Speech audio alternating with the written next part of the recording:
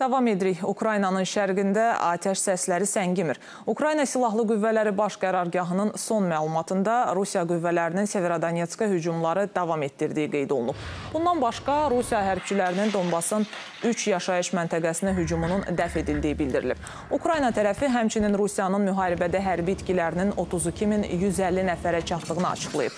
Rusiya Müdafiə Nazirliyi isə Ukraynanın Xarkov vilayətində xarici muzlu döyüşçülərin yerləşdirildiyi mərkəzin yüksək yüksək dəqiqlikli raketlərlə vurulduğunu açıqlayıb. Bundan başqa 2 qrad reaktiv yayılma atəşi sistemi, 10 raket və artilleriya texnikası, 9 xüsusi maşın, 9 sursat və yanacaq şəninin məhv edildiyi bildirilib.